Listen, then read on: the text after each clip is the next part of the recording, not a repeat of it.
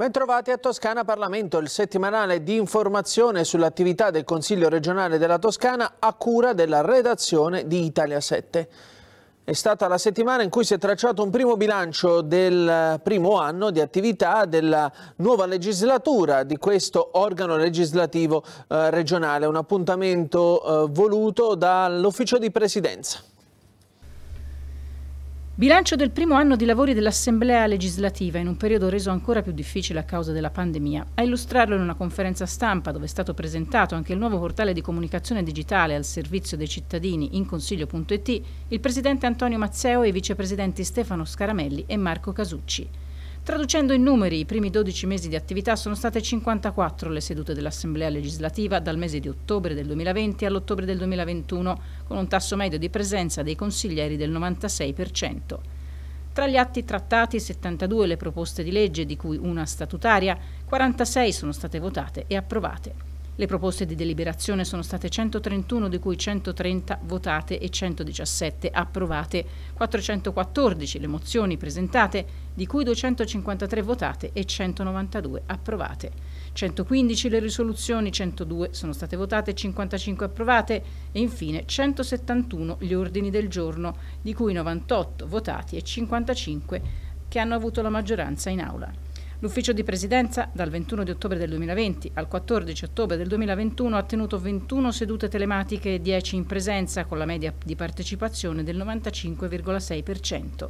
24 le sedute telematiche e 5 in presenza per la conferenza di programmazione dei lavori. Tutte le commissioni del Consiglio regionale hanno svolto 254 sedute. Si è detto molto soddisfatto del primo bilancio il presidente Antonio Mazzeo. È stato un anno difficile, complicato per eh, tante famiglie toscane, per tante imprese, ma io voglio ringraziare il lavoro di tutti i colleghi consiglieri regionali, dei colleghi membri dell'ufficio di presidenza, i capigruppo, perché abbiamo dimostrato tutti insieme segno, senso di responsabilità in un tempo difficile. Abbiamo cercato di lavorare insieme per dare risposte, le migliori ai cittadini della Toscana. A volte forse non ci siamo riusciti, ma l'abbiamo fatto davvero sulle questioni principali cercando di ascoltare tutte le voci, anche quelle più critiche, eh, con un unico obiettivo, fare in modo che i cittadini potessero uscire velocemente da questa terribile pandemia. Ora abbiamo il compito di rilanciare, di rilanciare cercando da subito di fare in modo che questa eh, diventi davvero e fino in fondo la casa di tutti i toscani. Abbiamo investito tanto su un processo di apertura, di partecipazione attraverso strumenti di, di digitalizzazione più evoluti. Io voglio ringraziare anche gli uffici che in questi mesi di lavoro anche a distanza ci hanno supportato nel trovare le soluzioni migliori. E da ora ci sarà un nuovo sito in consiglio.it in cui eh, sarà possibile seguire attraverso strumenti evoluti l'iter delle nostre leggi, eh, prendere pareri, sollecitazioni che arrivano dai cittadini. Consentitemi di ringraziare i presidenti delle commissioni, non era facile lavorare a distanza, come vedrete dai numeri hanno prodotto un lavoro enorme e, e hanno dato ai cittadini tante risposte che ci attendevamo. Noi come ufficio di presidenza abbiamo provato eh, lì dove la Giunta non ce la faceva anche a sostenere, penso agli operatori della cultura, penso ai maestri di sci, penso a tante altre categorie che erano in difficoltà con nostre proposte di legge, anche un minimo di sostegno. Ora dobbiamo guardare avanti, eh, lanceremo quest'idea su cui stiamo lavorando di fare una fotografia di quella che sarà la Toscana del 2050, la Toscana dei nostri figli, una terra aperta, accogliente, una terra che guardi al futuro senza subire i cambiamenti enormi che che stiamo vivendo. È una sfida complicata, ma sono certo che con l'impegno di tutti i colleghi e di tutte le colleghe saremo in grado di dare quelle risposte che oggi servono. Il vicepresidente dell'Assemblea Stefano Scaramelli ha evidenziato come non si sia mai interrotta l'attività, nonostante gli ostacoli della pandemia, un segnale importante per rilanciare e sostenere l'azione di contrasto al Covid-19. Bilancio di un anno importante, va dato merito all'attività dei colleghi, in particolar modo del Presidente e di tutti i gruppi consigliari che non ha mai interrotto la, la propria attività, era un esempio, un dovere che dovevamo in un anno difficile, quello della pandemia che terminava e che doveva rilanciare questa azione di contrasto alla pandemia, ma nel frattempo non poteva interrompere interrompersi l'attività di sostegno e supporto al lavoro della nostra giunta regionale, iniziative legislative, credo che si sia contraddistinto con un anno di buona collaborazione, con uno spirito che vedo cresciuto rispetto all'esperienza che io ho vissuto in passato di collaborazione fra gruppi consigliari, quindi io credo che ci sia stato anche una forma di crescita fondamentalmente di collaborazione nel distingo dei ruoli, quindi un anno positivo che ha visto dei passaggi importanti, penso innanzitutto il sostegno all'attività di vaccinazione, l'importanza e il sostegno al nostro Presidente e nel contempo un anno che ha visto iniziare degli iter legislativi importanti e quindi credo che questo sia stato l'elemento più importante di un'assemblea legislativa come la nostra che non poteva fermarsi, non si è fermata, ha dato questo esempio e credo che sia corretto proseguire in questa direzione. A tirare le somme sul primo anno di legislatura anche il vicepresidente Marco Casucci. Un anno particolare che è stato segnato dalla pandemia e quindi con delle modalità particolari di svolgimento dei lavori. Quello che anche nell'ultimo ufficio di presidenza ho auspicato trovando una sensibilità peraltro comune è quello che si svolga sempre più in presenza il lavoro. E questo è fondamentale con tutte le norme che devono essere osservate. Questi sono segnali importanti ecco, di ritorno un po' alla normalità, quale tutti noi auspichiamo. Di certo c'è stato un eh, tentativo continuo di parlarci, di confronto eh, per rendere sempre più trasparente, e aperta ecco, eh, diciamo, questa eh, che è praticamente il cuore della eh, regione toscana, per far sì che i cittadini toscani possano essere eh, finalmente debitamente informati ecco, delle nostre attività, che ci sia quella digitalizzazione, quella trasparenza necessaria per far sì che tutto eh, si svolga ecco, eh, veramente in modo chiaro. Questo è l'auspicio che vogliamo noi, eh, quello di poter continuare a fare anche pagine come quella della consegna della Costituzione ai ragazzi. La Costituzione repubblicana va letta, va conosciuta partendo dalle scuole. Abbiamo fatto dei momenti importanti di condivisione. Eh, auspichiamo che vi sia sempre eh, più lavoro anche per eh, salvaguardare pienamente i diritti delle opposizioni e, e questo è fondamentale proprio perché tutto si deve svolgere eh, secondo ecco, eh, quello che è eh, la nostra tradizione repubblicana e democratica. Tra le tante problematiche che hanno trovato una risposta nei primi 12 mesi di legislatura, nel campo del lavoro è stata approvata senza nessun voto contrario una nuova legge, la prima e unica al momento in Italia, che garantisce più salute e sicurezza a chi finora non ne aveva nessuna. Riders e operatori delle piattaforme digitali. Sono state inoltre sostenute in maniera unitaria le tante vertenze sul territorio toscano, dalla Becaert alla GKN. È stata approvata una risoluzione sia contro i licenziamenti sia per chiedere a governo e Parlamento una legge che impedisca le delocalizzazioni selvagge. Nel campo della parità di genere, anche grazie al lavoro della nuova Commissione Pari Opportunità, è stata approvata la legge regionale sulle nomine che prevede un'effettiva parità di genere negli incarichi di natura regionale.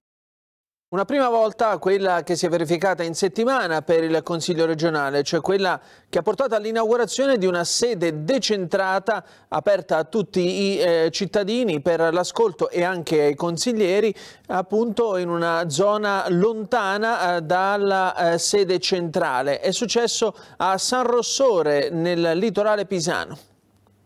Istituzioni più vicine ai cittadini grazie al nuovo ufficio decentrato del Consiglio regionale appena aperto nella palazzina reale del Parco di San Rossore. È la prima volta che l'Assemblea legislativa apre una sede decentrata.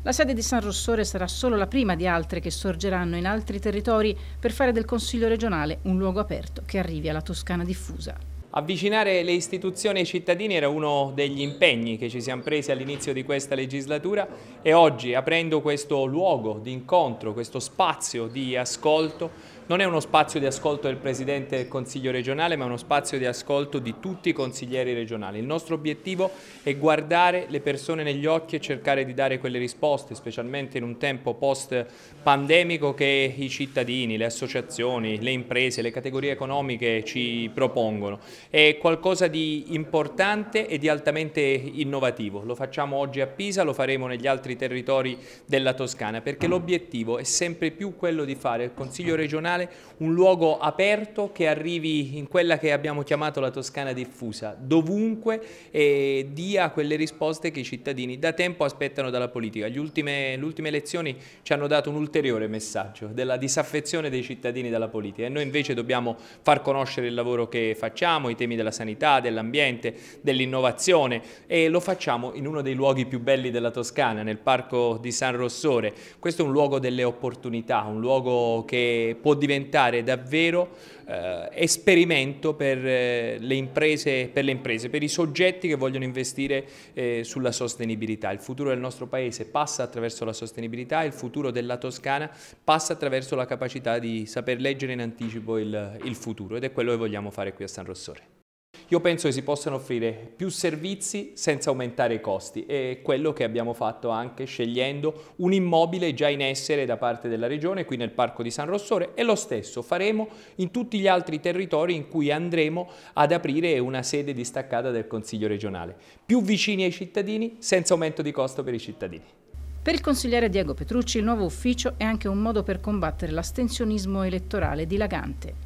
Beh, diciamo che il forte astensionismo è un dato oggettivo rispetto al quale la politica e le istituzioni si devono confrontare, quindi avvicinare le istituzioni ai cittadini, ai territori è comunque un dovere in questo momento più che in altri momenti storici. Il fatto di aprire questo ufficio della Regione Toscana qua a Pisa, dentro il Parco di San Rossore, va in questa direzione, inoltre, come ho sottolineato e voglio sottolineare anche in questa occasione, a far capire che la Regione non è soltanto Firenze. Troppo spesso, anche giustamente, si è pensato che la regione toscana fosse una questione fiorentina o dell'area metropolitana fiorentina, no, la regione è comunque un'istituzione di tutti, di tutti i territori e quindi è giusto che ci sia anche una rappresentanza forte nel territorio di Pisa che merita un tipo di attenzione di questo genere.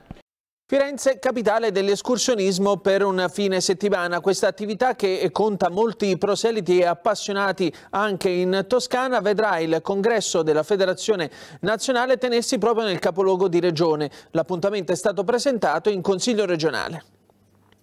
Un fine settimana dedicato a turismo ed escursionismo. A Firenze il secondo congresso della Federazione Italiana Escursionismo che conta 220 associazioni affiliate con circa 12.600 iscritti in tutta Italia. Il primo si è tenuto 73 anni fa. Con il secondo appuntamento si apre a Firenze la stagione dei congressi autunnali dopo l'emergenza Covid.